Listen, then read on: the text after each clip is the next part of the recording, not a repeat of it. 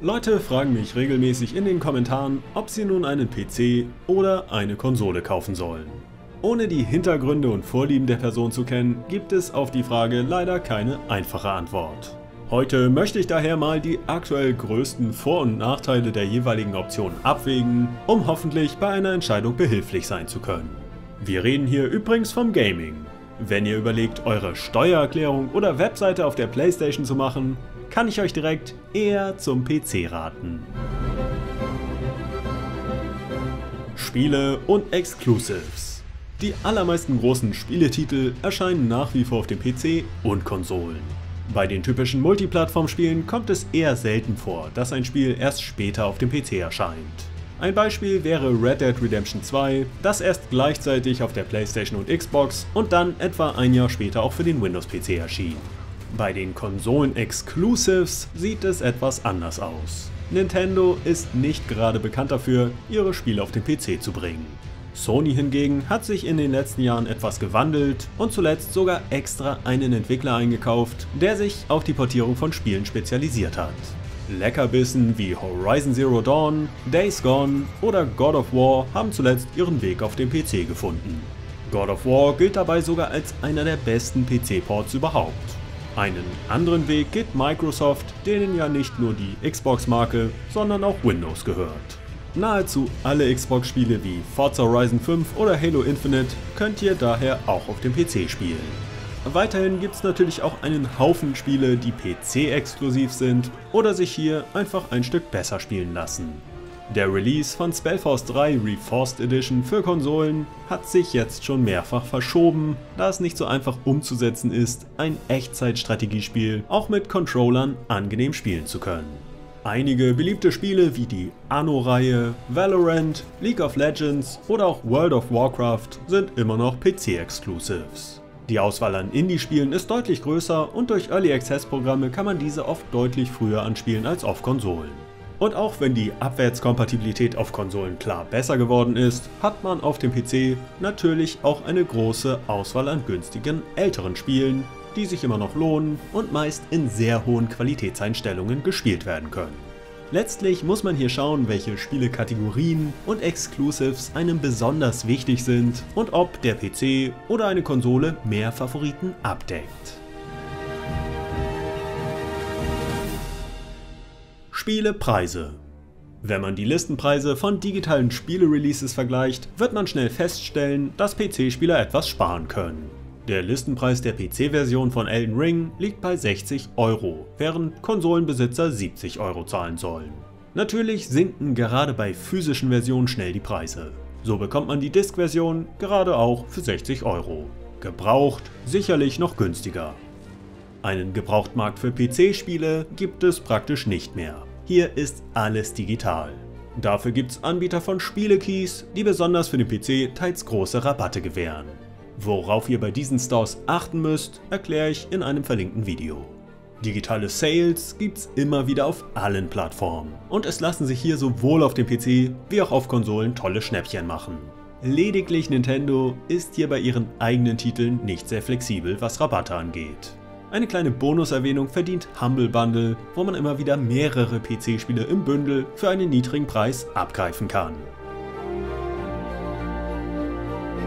Abos Neben der Möglichkeit, ein Spiel für die dauerhafte Nutzung zu erwerben, kann man Spiele natürlich auch über Abos mieten. Hier gibt es bei dem beliebten Xbox Game Pass zwischen der Xbox und dem PC nur wenig Unterschiede. Die Xbox hat ein paar Spiele, die der PC Game Pass nicht hat und umgekehrt. Die Auswahl und Preis-Leistung ist aber bei beiden sehr gut. Sonys PlayStation Plus Premium Angebot bietet die meisten Spiele im Zugriff. Während PlayStation-Konsolenbesitzer den Großteil herunterladen können, dürfen PC-Spieler, die diesen Service nutzen wollen, aber nach wie vor nur streamen, was mit den üblichen Nachteilen wie erhöhter Latenz und niedrigerer Bildqualität einhergeht. Das Streamen von Spielen auf dem PC ist mit dem Xbox Game Pass Ultimate übrigens ebenfalls möglich. Nintendo hat hier ehrlich gesagt kein konkurrenzfähiges Angebot. Es sei denn, ihr wollt Geld dafür ausgeben, ein paar alte Klassiker vom NES bis N64 auf der mobilen Konsole spielen zu können. Erwähnenswert für den PC ist noch EA Play, das aber auch Teil vom Game Pass PC ist und in der Pro-Variante auch ganz neue EA-Spiele bietet. Der Dienst Ubisoft Plus ist im Prinzip das gleiche in grün von dem großen französischen Spielepublisher. Ganz was anderes ist wiederum das Abo bei der Mittagspackung. Das ist nämlich kostenlos und solltet ihr euch direkt mal holen. Multiplayer. Wer gerne online Free-to-Play-Spiele wie Fortnite spielt, kann dies inzwischen auf allen Plattformen ohne weitere Abogebühren tun. Auch auf der Xbox sind diese Titel inzwischen von Xbox Live Gold ausgenommen. Für Kaufspiele wie FIFA oder Call of Duty ist es aber auf allen Konsolen gleich. Hier ist ein kostenpflichtiges Abo nötig, um spielen zu können. Sowas gibt's am PC nicht, was auf Dauer etwas Geld sparen dürfte. Dafür müssen PC-Spieler leider mit deutlich höherer Wahrscheinlichkeit damit rechnen, Online-Cheatern zu begegnen, die am PC eben leichter schummeln können als auf Konsolen. Was den lokalen Multiplayer, also sowas wie Couch Koop angeht, so gibt es auch viele PC-Spiele, die dies unterstützen. Im Schnitt ist da aber immer noch mehr Support bei Konsolenversionen. Es braucht noch etwas Zeit. Leistung. Es ist wohl keine Frage. Wer deutlich mehr Geld in einen vernünftigen Gaming-PC investiert, als das, was eine Konsole kostet, wird im Schnitt mit höheren Bildauflösungen, mehr FPS oder auch mehr Grafikdetails spielen können. Aber selbst ich als Grafikhure gebe zu, dass sowohl die PS5 wie auch die Xbox Series X in der Regel einen ziemlich guten Job machen, was die Grafik angeht und über ein gutes Preis-Leistungs-Verhältnis verfügen. Und auch wenn man mit Full HD klarkommt und auch ab und zu mal mit 30 FPS keine Schmerzen hat, wird man mit der Xbox Series S glücklich werden können.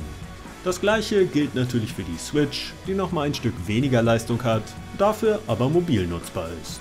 Ebenso für Steam Deck, das wiederum etwas mehr Leistung hat und auch anspruchsvolle Titel wiedergeben kann, dafür aber auch mit einem lauteren Lüfter daherkommt. Es gibt noch weitere mobile Alternativen und natürlich auch Gaming-Laptops, aber darüber erfahrt ihr mehr in dem verlinkten Video zu dem Thema.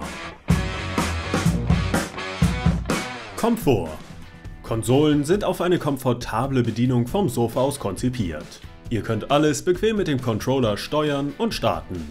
Im Falle der Switch oder mit dem Steam Deck geht das Ganze auch noch unterwegs komfortabel. Solange ihr am PC vor dem Schreibtisch sitzt, wird es euch kaum stören, Tastatur und Maus als primäres Eingabegerät zu nutzen. Zumal das bei manchen Spielen auch einfach angenehmer ist. Einen Controller kann man aber natürlich dazu kaufen. So manches Spiel lässt sich so auch besser steuern, weil es primär darauf ausgelegt wurde. Insgesamt kann man trotz immer größerer Optionsvielfalt bei einer Konsole nicht so viel kaputt oder falsch machen. Beim PC ist es schon hilfreich, ein gewisses Grundwissen zu haben. Zudem sorgen unterschiedliche Spiele-Launcher, die alle einzelnen Updates wollen, dafür, dass die Sammlung nicht so schön übersichtlich ist wie auf Konsole. Ein kleiner Tipp ist hier GOG Galaxy 2.0, das wiederum Spiele aus anderen Launchern starten kann. Zusätzlich sollte man sich als PC-Spieler etwas mit Grafikeinstellungen, Auflösung, FPS und Co. beschäftigen, da man trotz vieler Spiele, die das automatisch machen, nicht unbedingt alles aus seiner Hardware herausholt. Eine Falle sind zum Beispiel Ultra-Einstellungen, die nur sehr selten sichtbar besser als hoch aussehen, aber unverhältnismäßig viel FPS fressen. Flexibilität. Die aktuellen Konsolen bieten mehr Flexibilität als jemals zuvor. Ihr könnt Tastatur und Maus anschließen, was immerhin ein paar Spiele unterstützen. Ihr könnt den Speicher sowohl bei der PS5 wie auch bei den Xboxen oder der Switch leicht erweitern. Ihr könnt eine PS5 an einen 720p Fernseher oder einen 8K Fernseher anschließen, auch wenn 4K derzeit die maximale Auflösung ist. Dafür wird bei einigen Konsolenspielen inzwischen 120 FPS auf passenden Displays unterstützt. Sowohl die Xbox-Konsolen wie jetzt auch die PS5 unterstützen VRA. Zusätzlich unterstützen Xboxen sogar die 1440p Auflösung. Mit einem PC geht aber natürlich mehr. Neben 16 zu 9 können viele Spiele auch mit 21 zu 9 Monitoren gespielt werden. Ihr könnt selbst entscheiden, ob ihr bei eurem Monitorkauf und entsprechend in den Spielen einen Schwerpunkt auf eine sehr hohe Auflösung oder sehr hohe Bildwiederholraten legen wollt. An Eingabegeräten könnt ihr alles Mögliche anschließen. Zudem ist ein potenter Gaming-PC natürlich auch ein Arbeitsgerät, der mit zahlreichen Programmen problemlos umgehen kann. Wer beim Kauf eines PCs auf ein paar Dinge achtet, kann auch damit rechnen, ihn über die Jahre noch aufrüsten zu können. SSDs und RAM sind kein Problem, aber auch Grafikkarten lassen sich meist leicht austauschen. Kompatibilität das Tolle an der aktuellen Konsolengeneration der PlayStation und Xbox ist, dass sie nahezu alle Titel der letzten Generation auch abspielen können. Das heißt, dass ihr fast alles, was ab 2013 erschienen ist, auch spielen könnt. Auf den Xbox-Konsolen funktionieren zusätzlich auch noch viele Spiele der beiden vorigen Generationen. Für die Switch hat Nintendo die besten Wii U-Spiele immerhin neu herausgebracht. Ältere Spiele erhält man im Abo-Paket mit dem Switch Online-Dienst. Am PC könnt ihr im Prinzip alle jemals erschienenen PC-Titel spielen, insofern eure Hardware stark genug ist. Das braucht hier und da mal etwas mehr Gefrickel wie Emulation, aber diese ermöglicht es wiederum auch, zahlreiche ältere Konsolentitel zu spielen. Anders als manch einer denkt, könnt ihr allerdings nicht alle Konsolenspiele am PC spielen. Ein PS3-Emulator ist seit Jahren in der Entwicklung und kann viele Spiele immer noch nicht in zufriedenstellender Qualität wiedergeben. PS4-Emulation wird nicht wirklich empfohlen und von PS5-Emulation brauchen wir gar nicht zu sprechen. Abgesehen davon ist Emulation von Konsolenspielen eine rechtliche Grauzone und man sollte das jeweilige Original von seiner Sicherheitskopie besitzen. Mods Wem zum Beispiel Elden Ring am PC zu schwer sein sollte, der hat die Möglichkeit, den Schwierigkeitsgrad mit Mods anzupassen. Wer in The Witcher 3 überall die Schnellreise nutzen will oder ein unendlich großes Inventar möchte, der kann das haben. Viele Spiele erhalten zusätzlich im Laufe der Zeit Grafikmods, mit denen sie an zeitgemäße Hardware angepasst werden. Auch auf Konsolen gibt es Mods, diese müssen aber vom Entwickler offiziell unterstützt werden, was nur bei recht wenigen Spielen der Fall ist. Bei Online-Multiplayer-Spielen kann man auch am PC in der Regel nicht viel ändern, da das leicht als Hacking gelten kann und zum Ban führt. Was Singleplayer-Spiele angeht, hat man am PC aber unheimlich viele Möglichkeiten. Virtual Reality Wer unbedingt VR nutzen möchte, muss sich die Xbox oder Switch schon mal nicht näher ansehen.